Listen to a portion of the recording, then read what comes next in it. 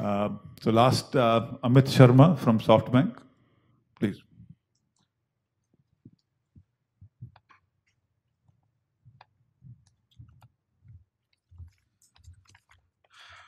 Hello, everybody. Good morning to you all. First of all, my thanks uh, to the organizer Anand for inviting me here to speak. And I thank with the great respect to, all the people here for coming and join this session. It's a great honor for me to be here with some of the most important people in this business and I look forward to learn some good ideas from them today evening. I'm sure we all are going to enjoy this session and we'll share our thoughts with each other. A few minutes ago in the lobby, I, I was discussing with one of the panelists, and I thought the solar has made a remarkable journey in last six seven years. I've been do, into this industry from last seven years. And i i can see like the tariff from 24 rupees to 2.44 so according to a recent study i'll see there will be more change more competition and more opportunity in this industry over the next few years than ever before. My take is like we all talk about price, technology, financing. Yes, of course, that's why we are, we are here. I still remember those days, 2011 and 12, when we were at rupee 11 or 12. From 24 it dropped to 20, you know, 11 and 12 rupees and within next one year, it dropped to six rupee.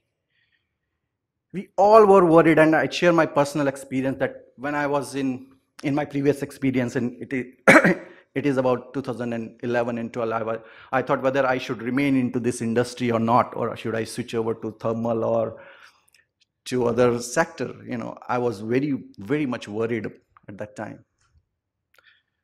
Because at 6 rupee when we thought we were not prepared that whether we are challenging coal whether we are challenging thermal or hydro yes of course that's what we are here right now.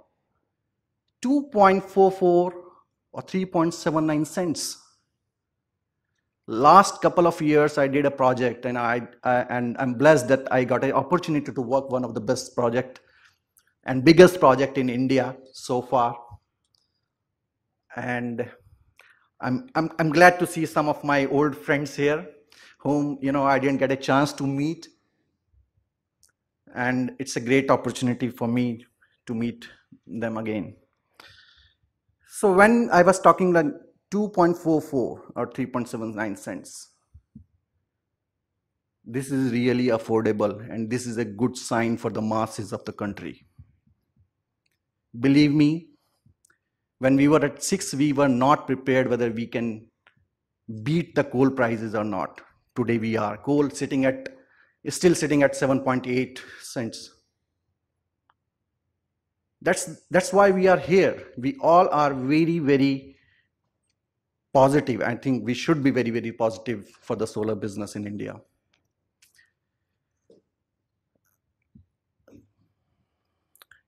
So my take is like, you know, I was uh, debating with the, uh, one of my, you know, very good friend and I was discussing, I know, you know, many of us will know that for the first time in the industrial revolution of 18,000, 18th century, Britain was powered for one day without coal, 100% renewable, 100% solar. And Germany too was at the 85% for a day. So we are heading towards the renewable, although you know it's a very small percentage when it comes to a thermal. Yes, it's only 8% of the capacity. But yes, in my opinion, solar is really, really going to be one of the prime source of energy moving forward. Uh, most of the panelists have already covered all the topics and I think I don't have much to say, but yes, I completely agree with Tanya. That we always talk about technology, we always talk about price, we always talk about financing, but what is the main thing, mainstream thing, why these prices are coming down? These are not coming down only from the module sides and we need to understand that module, when we say module, it is, it is a technology. We all know that we started from 200 megawatt watt peak of a panels. And right now we are anticipating that it would go up to 450 watt peak of a panel also with the improved efficiency and uh, other things. So prices are not coming down only due to the modules there are some equipments and i agree with gagan also when he said or omkar when he said that there are the other components also like obviously we the, there are the commodities like steel metals which are not specifically meant for the solar it's in general but yes we are when we look at the capex and we look at the opex we see different things when it comes to OPEX. You know, a couple of years back when rightly said one of my friend like it was 7 lakh rupee or 5 lakh rupee a megawatt. Now it is coming down. So what has changed? The technology has changed. We are talking about the robotic cleaning systems because obviously there would be challenges of water in next few years. We all know these solar sites are, most of the sites are remote sites. So robotic cleaning systems or dry cleaning would be the best solution and that's why the people are taking the OPEX cost a little bit lower than what we used to take it in past. At the same time, I, I would like to thank the government because government has to play a primary role in supporting this sector. And I would thank the government that they have come up with some development of solar parks and accelerating the execution of a green corridor, enhancing the financial health of DISCOM, which is a very, very important thing. DISCOM in our country is not in a good shape. We, I think we all know that there is a Uday kind of thing that government has started and it has very well, you know, established in the government and now the discoms can saved around 12,000 crores in FY17. And that's a significant step towards the revival of DISCOM. And that's the crux basically. It is very important that the government come up with the, some international PPAs, good PPAs, so that we can secure our business for next 25 years. And it's, I don't know why we talk about 25 years. It can be more also. Who stops you to at 25 years? I know I, I, you know, being in the procurement and sourcing department, I don't understand why it is only 25. Yes, of course, when we talk that these equipments are meant for 25 years, we can meant it for 40 years also. So the business model, if we take it for 30 years or 35 years or 40 years, can drastically change. We have seen like, you know, five years back, nobody was taking, I completely agree with Tanya when he, she said the AC-DC ratio. We were at 1.1, now people are thinking of 1.5. That makes a big difference. So uh, friends, uh, I would like to say that I am very positive on the solar side. Although, you know, everybody knows that SoftBank or SB Energy won this Rajasthan project with why, you know, at 244, 245. But yes, of course, please wait for some time and we'll be able to deliver this project. I'm very positive and I also thank some of my very good partners here who supported us in execution of a, our AP First 350 project in Andhra Pradesh. And I thank them and thank to every single person who contributed in that project 51 days ahead of that commissioning date. That's a remarkable thing, which I would say that in India, 51 days ahead of a you know commissioning date, people are going towards in that direction. And that's the kind of a thing which we all should you know think basically. What does what does that impact? That gives a message to the government. You know, in, in our industry everywhere, when we see that there are lacunas, we always talk about the government department is having a lacuna in the system. So what the message we are trying to give? We are trying to give a message that let's be on time. Let's respect the time. Sorry, I'm, we are late by one hour for this session. and I know all of you are waiting for the tea. I won't take much of your time, but yes, of course, we must congratulate the government that they are developing and they are trying to develop this thing. This is very good science for the solar industry because this is affordable to the masses.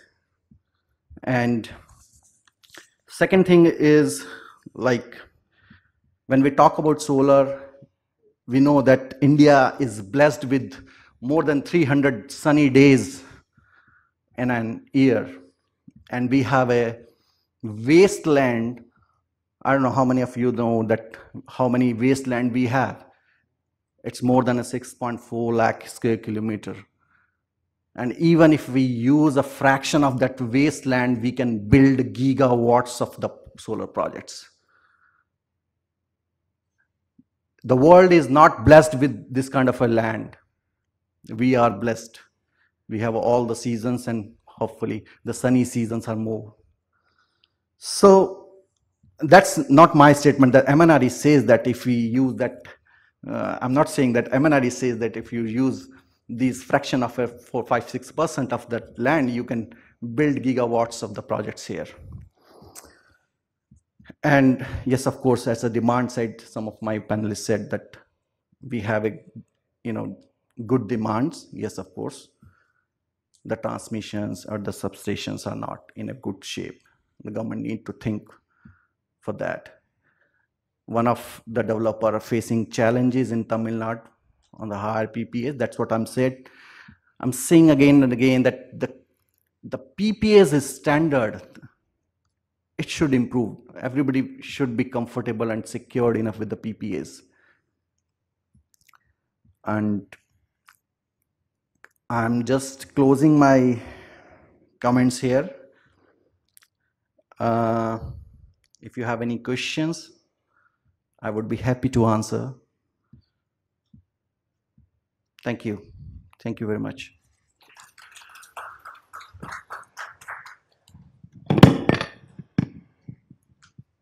Thank you, Amit. And uh, he's brought in some very positive viewpoints to um, project execution experiences, which are very encouraging. Uh, it creates, a, again, a sense of enthusiasm, of benchmarks, and uh, also the perspective on land.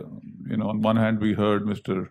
Jain in the morning about how Rajasthan land prices keep on going up. On the other hand, we see this kind of a number being told. So I think there is a hope and a future in the planning somewhere, and we need, we will be cautious of that. So from my perspective, thank you to all my colleagues here on the dais, and over to Anand now. Thank you very much, sir. I think uh, indeed was a very enlightening uh, session, and uh, top leaders of solar industry attended uh, on our invitation. So I would like to thank them. Just adding one thing from my side, like I have been interacting with so many regulators and developers and the government officials.